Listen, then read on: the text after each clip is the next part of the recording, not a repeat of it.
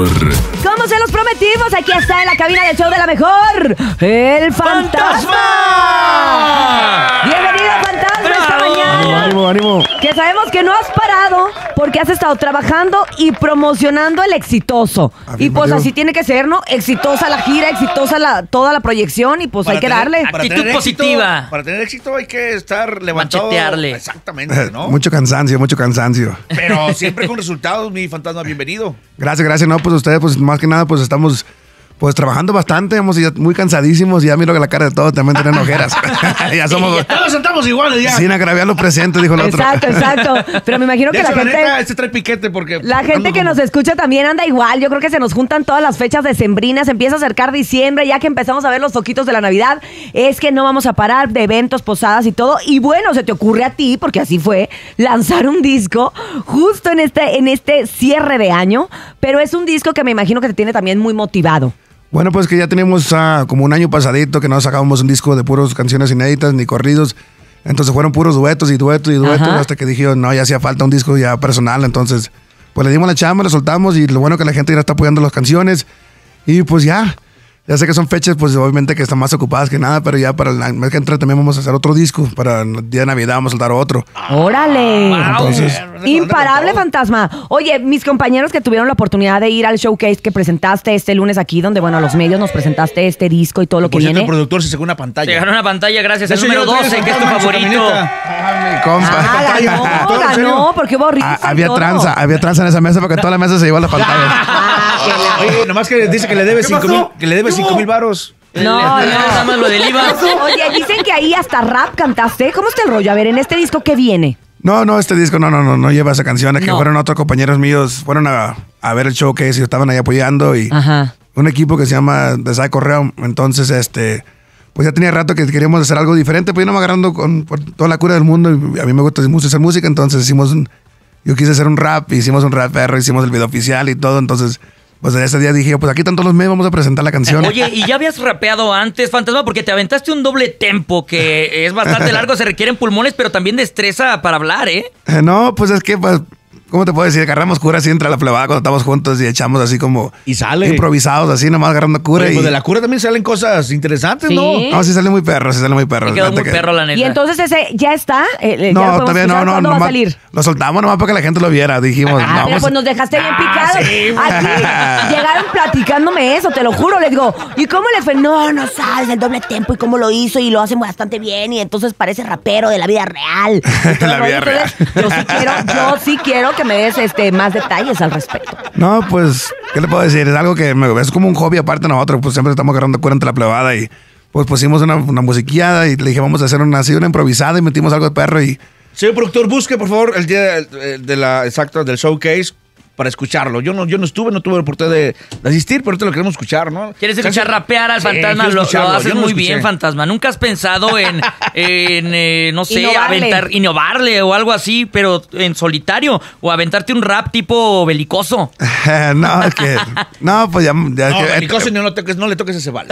Es que mi línea, mi línea siempre ha sido así como la música ranchera, así como la traemos, pero después fue como un, un gusto que quise darme. Entonces quiero que la gente vea que también podemos hacerlo por ese camino, pero obviamente lo mío es lo mío. Oye, el fantasma un gran ejemplo para muchos, pero sobre todo para alguien tan especial que, que es tu hijo, ¿no? Que vimos que hace que dos fines se se subió al escenario contigo, dos, tres fines de semana.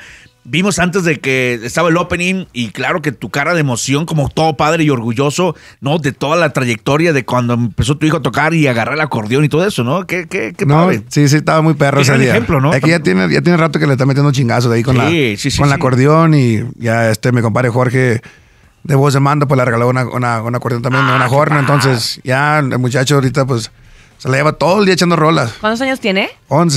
11. Oye, ¿y ya no. le has brindado algunos consejos de la artisteada? Todavía no. Él ya sabe, ya sabe cómo la chinga. Ya sabe qué rollo. Cuando ha con- vivido, el ejemplo arrastra. Yo le va conmigo así en la gira y, y cuando ya, ya faltan como unos tres días que estamos echándole ganas y ya el tercer día ya está como gallo navajeado, cansado. ¿Cuándo nos vamos a regresar a la casa, pa? Vámonos, sí, la verdad es que los niños se cansan y... Oye, y- pa, ya comprarme la pizza, ¿no? Hasta que, hasta que Pero qué bueno, qué bueno porque lo que decimos, o sea, el ejemplo arrastra y él, él lo está viviendo y los está forjando. Y si tiene el talento, pues ¿qué vas a hacer, no? Vas a seguir y lo vas a apoyar porque eso no se puede frenar. No, no, es que el apoyo va a estar ahí, nomás que de todos modos ya tiene que saberla. le dudas, ¿no? La- o, o no, o sea, en el sentido de que dices, yo no quiero que sea músico porque sé cómo es la vida, sé cómo, que no es fácil, ¿no? Pues es pesadito, pero pues, que el, gusto de cada quien lo va a tener que entender. Entonces, si quieren hacerlo El por ahí, fantasmín, ¿no? nosotros ayudamos. No, porque cuando uno hace lo que le gusta, aunque a veces te cansas o a veces andamos cansadones como nosotros los cuatro aquí el día de hoy, haces lo que te gusta y entra esta adrenalina y esta, eh, esta fuerza que te hace salir adelante y dices,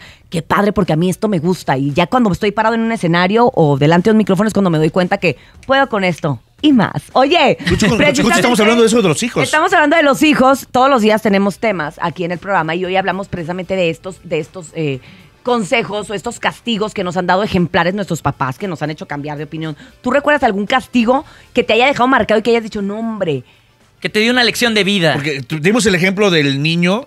que su papá, que, que se burló de otro niño porque tenía tenis pirata y el papá lo hizo ir a la escuela en chanclas una semana y lo hizo que se comprara, que le comprara al niño unos tenis buenos. No, pues yo, no, gracias, no, que no, siempre tuvimos, no podemos hacer nada, ¿cómo se puede decir? Como ni mal educado ni nada, eso, si decíamos hasta un gesto malo, pues era una chinga. Entonces Claro, siempre, claro. Luego, luego. como, eh, haz esto, como, ah, eso era una chinga. Nomás con, Uy. con hacer un respiro como, no, para todos sí, señor, no, señor, sí, señor. Correctivo, un pequeño correctivo. Entonces, no, no, no, no podemos hacer cosas así, pero, pues no, no, no, no tengo ese tipo de... ¿Y de- cómo eres tú con tus hijos en, al respecto? No, pues y soy igual, soy, soy duro, pero soy bueno, agarramos cura y echamos ca- catorreo siempre, pero así con forma de respeto, de respeto siempre va por delante, como... Claro, claro. Como tiene que ser, porque Sí. somos, es lo que platicábamos nosotros, que estamos educados a la antigua y a la antigua sí era eso que dices tú, respirabas y cállate. A este pobre lo, lo larguearon en público ahí. Y le me digo, pusieron tres cinturonazos. a estas alturas del partido te lleva el DIF. O sea, ya estaría el muchacho chocó el carro de su papá y la, la castigaron un año sin salir. Un año, un año estuve encerrada. O sea, nada más iba a la escuela, pues. Pero bueno, vamos No, a ahora ya no, son, ya, al no, público. ahora ya no son tan así, ¿no? No, Hombre, te, ¿no? Ya ¿Qué los dice el niños- público? Los niños y la crianza respetuosa, que es muy buena, ¿verdad? No la, no- no la- y la consciente también, pero... A ver, adelante, público bonito. ¡Ey! ¡Qué rollo, show de la mejor! Eh, yo recuerdo muy bien que tenía como 13, 14 años, más o menos, por ahí así. Eh, y No se de repente se me hizo muy fácil irme con un compilla que en ese entonces tenía. Y nos fuimos a echar unas chelitas acá. Y de repente, yo como las 12, 11 de la mañana, me regresé a mi casa bien Agustín. Y oh, sorpresa, ya me estaban esperando Pues sí. en mi casa con el cinturón. Me acuerdo muy bien que mi papá me agarró a chanclazos y me mojó, me, me echó una cubetada de agua helada, así helada, brutal. Y pues nada, pues ese fue un correctivo que... Pues Que- sí, que dejé no se les de- hacer esas cosas, de tomar. Hoy en día, pues sí, sí agarro la chelita, pero eh, ya no era como antes. Ya no es como antes. Caliente porque me dio frío ese día. Porque la verdad, pues sí, un correctivo bien dado.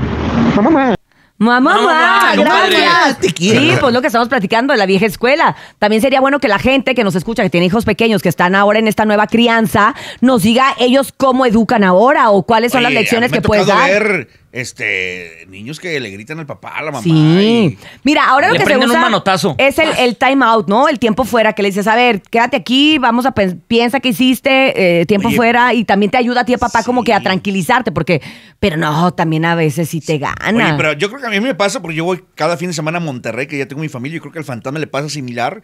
Pues lo que menos que quiere es regañar al chavo, ¿no? Pues no lo ves en, en varios días, ¿no? Yo creo que te pasa, ¿no? Sí, Y dices, ¡regáñalo! O te marcan, te marcan por el Sí. en videollamada como, hey, acaba de hacer esto para que le peguen una chinga. Y, No, oye, pero, ay, digo yo, pásamelo pues. Es- está- pero está dificilón saber No, qué- pero no- yo, yo lo doy a veces lo doy el pase cuando ya, Oye, sí, ¿Qué sí. a tu hijo? Cálmate, canijo, ¿eh? O sea, no, cerrando el. No, pero, pero sí tienen obviamente la actitud eh, fuertes eh, y el aspecto, pues obviamente como en la casa, yo me gusta que trabajen. Como tengo rancho ahí en la casa, entonces donde ellos viven, entonces yo salgan, hagan su negocio y lo va a pagar yo su fin de semana. Ah. Entonces ellos ya tienen su alcancía ahí con su dinerito y todo. Sí, Eso pues está de todos súper modos. bien. Eso es bien Me importante. gusta que Oye, salgan. ¿no me da chamba, Es bien importante No, eso pero que no hace el llega fantasma. temprano, no, no, lo- Sí, no, lo- no no, lo contrates. Porque Hoy llegué tarde, tarde. cuando le dan todo a uno, no comprende que la vida es complicada y que nada es gratis, ¿no? Sí, pues obviamente como, ah, pues el- es el, mi papá y el fantasma, lo que sea, no, no, señor. Yo, yo trabajo por lo mío y tú vas a hacer por lo tuyo. Entonces tú haces tu, tu trabajo y agarras sus cosas y dices, ah, Muy para bien. cargar estos zapatos, ya los va y los compra con su dinerito.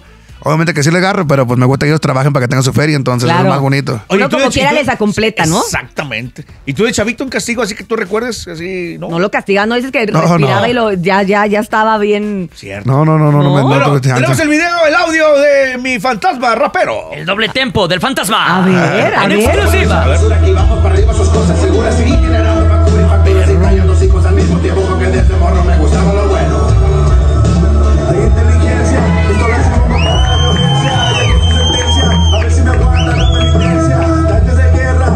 Oye, Ah. ese doble tempo. eh, pero ese fue nada más un pedacillo, ¿eh? Se aventó como casi un minuto de doble tempo. Sí, me fui, me fui de paso, pero... no, sí está chido la canción, sí me, sí me- sí me la rifé. Esperamos que a la gente le guste. Pues yo digo, ya toda la gente anda queriendo hacer cosas diferentes y pues yo dije, pues vamos a algo diferentón. Dije, obviamente no, no, es mi, lo- no, no es mi carrera hacer eso, Ajá. pero yo nada más Pero por... está bien, de WhatsApp, como dice, ¿no? Con tu esencia, sobre todo, Sí. ¿no? No perder la esencia. Eso pero- nos gusta. Sí, sí, sí tuvimos el, el gusto para hacerlo. Entonces la gente, ese día miré que la gente le gustó, entonces ya dije, ah, pues ya me sentí más relajado. Oye, ¿cómo vas a cerrar el año? ¿Cuál- ¿Cómo planeas cerrar este 2023? Pues yo pienso que vamos a cerrar el año bien cansado, pero... Sí. No, yo vamos, vamos a trabajar, claro. vamos a trabajar, este, obviamente que hasta el 22, entonces, pues ya queremos descansar un poquito, andar con la familia y pues ya preparando para allá para el 2024, para hacer la fecha ya machín, entonces tener un espectáculo grande como traemos la banda, el mariachi, el serreño, el norteño, entonces queremos prepararnos con cosas diferentes para el año que venga, entonces ya preparando el último disco para este mes que viene y pues dale para adelante, ¿no? Oye, compa Fantasma, decías algo bien importante también ese día del showcase, que dentro de este álbum del exitoso, hay unos temas que son de tu autoría, pero hay otros también de, de nuevos compositores, ¿no? Así y es. que te gusta mucho apoyar a la raza que va empezando. Oye, pues es que realmente el Dos Carnales fue. Lo descubrió que era el compadre ¿Tu fantasma. descubrimiento? No, fue una gran oportunidad que le hice a los morros y mira, ¿dónde, dónde andan? No, la están los plebes echándole ganas. contestan el teléfono, no, Eh. pero nada, no no, pero me gusta mucho ap- apoyar. Si hay gente que me mandan así audios o les digo que le mandan números a mi carnal y ya me mandan las canciones y mi carnal ahí está, escucha esta así. A veces los compositores que cantan, pues obviamente no traen la voz, pero escucho, la yo escucho sí. la letra y digo la letra, ah, está, está buena la función. Entonces yo la grabo y pues de los, la, per- las personas que están componiendo apenas pues se emocionan y Claro. pues digo, es, es- es como un logro, obviamente ellos están haciendo una meta y su meta es para poder triunfar. Entonces, si yo puedo, yo lo voy a traer. Oye, ¿y qué debe tener una letra para llamar tu atención en el momento? Pues me tiene que gustar en el aspecto de que le van a gustar a ustedes. Más bien como me gustan las canciones de desamor. No de amor, pero de desamor. Como que le entiendo más al papel de ahí. Ándale, ándale. Ajá, ándale. Y pues los corridos ni se, ni se digan entonces. Pero me gusta que las cosas salgan algo bien y que esté bien puesta la letra como la funciona como vaya a ser. Entonces, Vamos a un concurso, Urias, ¿no? De, de compositores. quieres? Qué bueno que me dices, Fantasma, No, de porque aquí de- tengo una de canción que compuse. Ah, Y es de desamor es casualmente. de desamor casualmente. No, pero está bien. La verdad es que sí es, es, es una contribución que das tú, yo creo que a lo que a ti la carrera, la vida, el éxito te ha dado y dar de regreso alguito, lo que sea. Y la verdad es que no todo el mundo piensa así, así que te felicitamos porque tú lo haces y haces que para la gente pues tengan esta esperanza de llegar a lo que todos en algún momento soñamos. no, muchas gracias. No, así me gusta. Entonces, para toda la gente que tengan temas buenos, ahí me los mandan ahí por el red para echarle ganas ahí. Eso le. Eso. Oye, pues ya nos vamos a despedir, pero nos vamos a quedar con la canción del fantasma, no sin antes agradecerte que hayas estado con nosotros acá y decirle a la gente que escucha el exitoso y todo lo que viene con el fantasma. A toda mi gente, muchísimas gracias. Y también a ustedes, también de todo cariño. Muchas gracias Es por estar con nosotros. mi fantasma ya sé que todos están cansadillos. Hombre, mira, estamos con energía.